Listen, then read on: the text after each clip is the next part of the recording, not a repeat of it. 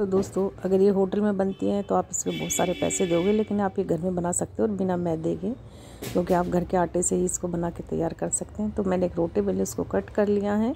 और इसको आप फोल्ड करके दोबारा इसकी लोई बना लेंगे। और वो ये काफ़ी महँगा मिलता है होटल से, या जाओगे किसी भी रेस्टोरेंट या होटल में तो ये घर में इजी तरीके से बनाओ और जो हेल्दी भी होता है बच्चों के लिए और खाने में भी टेस्टी होता है, क्योंकि मैदा इतना अच्छा नहीं होता शरीर के लिए।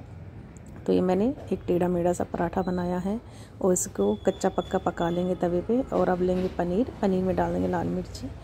और इसमें जीरा अजवाइन डालेंगे, थोड़ा नमक डालेंगे स्वाद के अनुसार। और चाहे तो आप और मसाले डाल सकते हो, लेकिन बच्चों के लिए बनाऊँगी तो इसमें हरी मिर्च नहीं डालेंगे और ये हरा धनिया डाल के इसकी गार्निश के लिए ये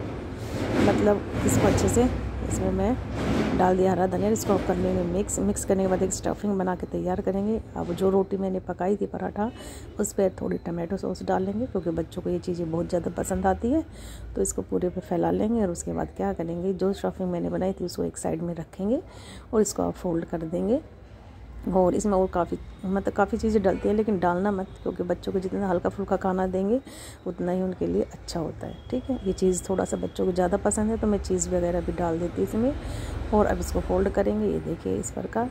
और इसको तवा गरम करेंगे, उस पर देसी घी, मक्खन रिफाइंड जो आपको पसंद है उसको लगा लेना, और धीरे धीरे दोनों तरफ़ से सेक देना, और ये बच्चों को बहुत ज़्यादा पसंद आएगा तो ये देखिए अब मैं इसको उलट पलट के अच्छे से सेक लूँगी। तो दोस्तों, ये आसान रेसिपीज़ होती हैं। जो आप बना के बच्चों खुद भी खा सकते हो और बच्चों को भी बना के खिला सकते हो, क्योंकि इसको बनाने में काफ़ी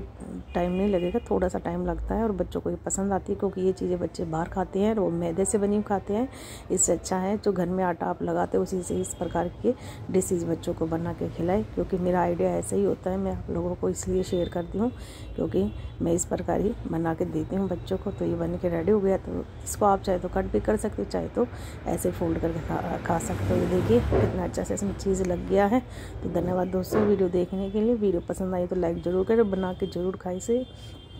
और धन्यवाद।